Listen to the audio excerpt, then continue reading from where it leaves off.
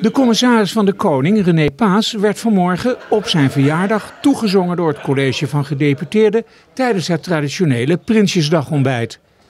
Daar ligt het provinciebestuur toe wat zij vindt van de troonrede. Het is voor de zesde keer op rij dat de provincie Groningen en de aardbevingsproblematiek werd genoemd. En dat verbaasde René Paas niet. Met de troonrede is het niet klaar. Dit is een prachtige tekst, goed voorgelezen, niets dan lof daarvoor. En dan komt het aan op daden. Dan komt het erop aan dat inwoners van Groningen uh, weer perspectief zien in hun eigen regio, in hun eigen huis. Dat hun huizen weer veilig zijn. Dat ze zekerheid hebben en weten dat afspraken die met hen gemaakt uh, zijn, dat die ook nagekomen worden. En dat mensen die het wachten moe zijn, ook zien hoe ze van hieruit verder kunnen gaan. Dus er is veel te doen. Daarover voeren we met de Rijksoverheid taaie gesprekken. En ik hoop dat ze gaan lukken. Paas maakt zich zorgen over de verdeling van geld door het kabinet. Vaak blijkt dat budgetten voor het grootste gedeelte terechtkomen in de Randstad.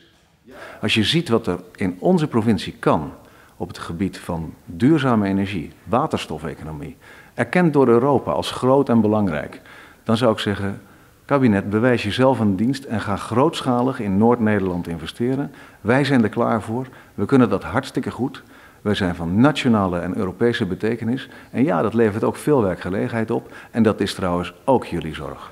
Gedeputeerde IJsbrand Rijzenbol maakte zich zorgen over de financiële positie van de gemeentes in de provincie. Ik denk dat het goed is dat het kabinet gisteren de uitspraak heeft gedaan dat dat aandacht behoeft. Daarvan kun je zeggen, ja dat is heel aardig gezegd, maar nu nog even doen. En dat ben ik met u eens, maar er is ook geld bijgelegd. En dat geld zal niet voldoende zijn. Ik denk dat dat onvoldoende is. Laten we die uitspraak ook maar doen. Want de gemeenten zijn er echt heel slecht aan toe. Dat moet echt anders. Dus daar zullen we ook nog de nodige lobbywerken voor moeten gaan uitvoeren. Voor de provincie is het belangrijk dat het kabinet geld uittrekt voor een betere verbinding met de Randstad. Verbetering van het bestaande spoor of de aanleg van de Lelylijn. En daarvoor is het noodzakelijk dat we inderdaad in Noord-Nederland ook uh, alle opties open houden. Dus ook de verbinding over bestaanspoor. Uh, ons doel is om snel naar de Randstad te komen. De lelijn zou daarbij een ongelooflijk mooi middel zijn om dat voor elkaar te krijgen. Nou, en daar is ons inzet ook op gericht. Nou, ik denk dat er nog heel veel zaken zijn die uitgezocht moeten worden. Zowel over de lelijn als over een snelle verbinding over bestaanspoor. Uh, dat is ook de reden waarom wij voor de zomer tegen elkaar hebben gezegd... laten we nou deze uh, uitwerking ook de komende tijd verder met elkaar oppakken. Daar heeft het ministerie ook van gezegd, dat willen we gezamenlijk doen. Nou, dat is uiteindelijk van belang, want ook het ministerie zal, uh, is als partner daarin ongelooflijk belangrijk. Alle Noord-Nederlandse partners hebben dat gezegd. Nou, daar zijn we nu mee bezig. De verhuurdersheffing aan de woningscorporatie wordt door het kabinet verlaagd. Gisteren heeft Rutte ook gezegd, we hebben belang bij een sterke overheid. Is dit nou het failliet van het liberale huurbeleid? Dat is, een, dat is een hele leuke vraag.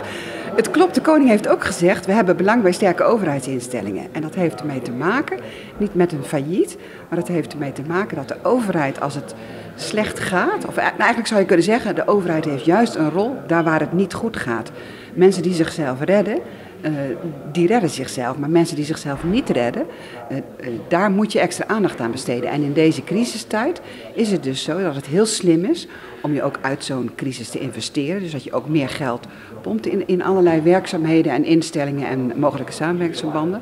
Maar ook dat je op deze manier omgaat met hoe krijgen we die woningbouw nu van start. Dus ik zou het geen failliet noemen. Maar ik denk dat je heel goed moet kijken in welk tijdsgevricht past welke maatregel.